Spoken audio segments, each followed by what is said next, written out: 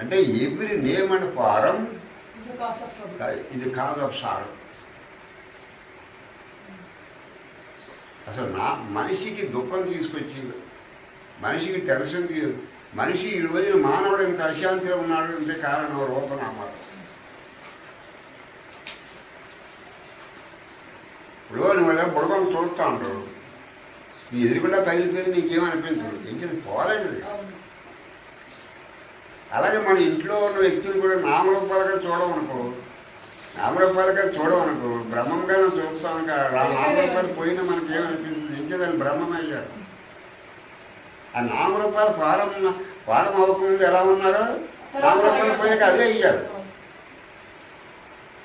అంటే అక్కడ ఏముండదు ఇప్పుడు ఎవ్రీ నేమ్ అండ్ ఫారం ఇది cause of trouble. Every name and form ఇది కాజ్ ఆఫ్ సారో. నీకు ఈ రూప బుద్ధి నామ నామ బుద్ధి వచ్చాడు ప్రపంచం రూపం వచ్చాక ముందు నామం రాదు ముందు రూపం వస్తుంది. తర్వాత నామం తర్వాత యాక్షన్ అదేదో పని చేస్తాడు ఆ పని నేను చేశాను అంటాడు. అక్కడి నుంచి అహంకారం బయలుదేరు ఏదో రూపంతో ఆలోచన పొందుతాడు.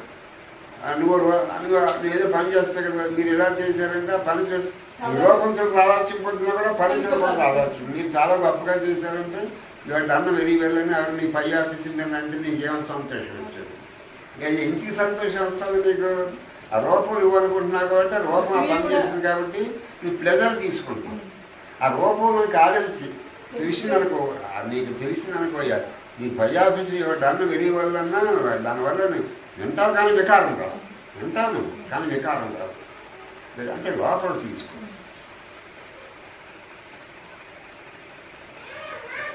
అప్పుడు స్లోగా ప్రపంచానికి దూరం అంటే ప్రపంచంలో ఉండొచ్చు మనం. ఆ ప్రపంచంలో మనం అంటే ప్రపంచంలో వచ్చే స్తోత్రాలకి ఎఫెక్ట్ అవ్వం. అప్పుడు ఎన్నాళ్ళు బతికినా? ఏం చేయదు ప్రపంచంలో వచ్చే కెరటాలకి మన ఎఫెక్ట్. కెరటం కూడా నిజమే. కెరటంగా నిజం కాదు. కదా. అలా. అలా ఒక బాడీ ఒక కెరటం అన్నమాట. ఇవన్నీ ఎక్కడ జరుగుతున్నాయి? బ్రహ్మంలోనే సముద్రంలోనే జరుగుతుంది అలాగే ఈ సృష్టి అంతా బ్రహ్మంలోనే జరుగుతుంది మళ్ళీ కెరటం ఎక్కడ అణిగిపోయింది? అది ఎక్కడ లేచింది? ఎక్కడ సముద్రం నుంచే లేచింది. మళ్ళీ సము కెరటం ఎక్కడ ఊగిసిలాడుతుంది? సముద్రంలో సముద్రం. మరి అడిగిపోయిన ఎక్కడ పడుతుంది? ఈ నామరూపాలన్నీ బ్రహ్మముడు నుంచి వచ్చి బ్రహ్మముడు అడిగిపోతుంది ఆ బ్రహ్మగా చూసినప్పుడు కెరటం ఉదయించినప్పుడు ఏమనిపించదు అణిగిపోయినప్పుడు ఏమనిపించదు ఏం చేద్దంటే దాన్ని వాటర్గా చూడాలి. మనం వాటర్గా చూస్తాం రూపంగా చూస్తాం. అక్కడ నీకు పట్టుకుంటున్నాను వాడు పీ కట్టి రూప బుద్ధి వచ్చి నీకు దుఃఖం తీసుకుంటుంది. ఇప్పుడు నీ నీ ఇంట్లో పిల్లలంటే నీకు ఇష్టం. నీ ఇంట్లో వ్యక్తులంటే ఎందుకు ఇష్టపడుతున్నావు? నీ దేహం నీకు ఇష్టం. నీ దేహం నీకు ఇష్టం ఆడేవాళ్ళు నీ దేహానికి సంబంధించిన వాళ్ళు కదా ఆడ కూడా ఇష్టం నీ దేహం మీద నీకు ఇష్టం పోదనుకో ఆ దేహాల మీద కూడా నీకు ఇష్టం పోదు. ఎంచేది నిజం అనుకుంటున్నాం కాబట్టి అయ్యి అది మీరు మీరు ఇనువంటారండి రమణ గారు. ఆ మూడోది వెళ్ళలేదు ఆచార్య గారు చెప్పారు. దాన్ని ఎంచి ఇచ్చి పెట్టేస్తారండి చాలా ఉంది నిజం అనుకుంటే మనసు విచిత్రం నువ్వు ప్రపంచం నిజం అనుకుంటే మనసు లోపలికి అనుకుంటుంది అది అబద్ధం చెప్పి వెళ్ళిపోతుంది లోపల ఎకార్ట్ టాల్ అని ఇంగ్లీష్ ఆయన ఒక ఆయన ఎకార్ట్ టాల్ అన్నారు ఎకార్ట్ టాల్ అని ఇంగ్లీష్ ఆథర్ ఉన్నాడు కదా. ఆ, ఆయన ఏమన్నారంటే రిలేటివ్లీ రియల్ అని అన్నారు నాన్నగారు ఇట్లాగే.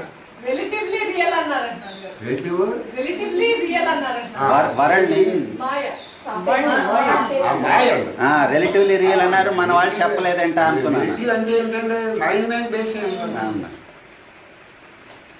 రిలేటివ్ ఇది ఏంటంటే మన ఇప్పుడు ఇప్పుడు మనం కాలేజీకి వెళ్ళి యూనివర్సిటీలో నేర్చుకుంది రిలేటివ్ నాలెడ్జే కదండి.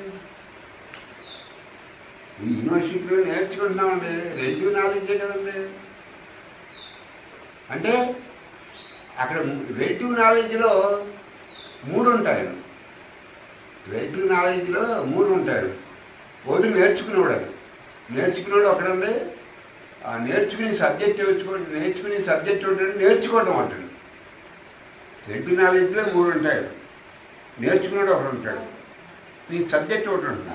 నువ్వు నీ- ఏదైతే నేర్చుకోబడుతుందో నీ చేత అది- అది అదేమో ఆబ్జెక్ట్. నువ్వు సబ్జెక్టు. నేర్చుకోవడం అనే క్రియ ఉంది కదా మరి.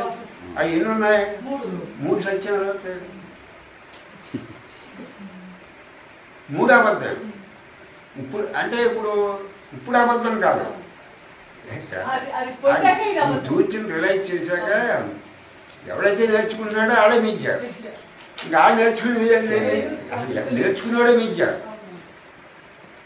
ఇక అర్థం ఇప్పుడు ఇదంతా నిజం కింద అనిపిస్తుంది. అంటే మనం నిజంతో చాలా నిజంతో వన్నస్ వచ్చే వరకు నిజం కింద అనిపిస్తుంది. ఇక్కడ భగవాన్ ఏం చెప్తారంటే నువ్వు అనుకుంటే అనుకో నిజమని అది నిజం కాదు కదా అంటారు. ఇప్పుడు నిజం కానిదని నిజం అనుకుని నేను ఎవడొద్దంటున్నాడు? నిజం కానిదని కూడా నువ్వు నిజం అనుకో. నువ్వు అనుకున్నది మాత్రం కదా నిజం అవుతున్నాను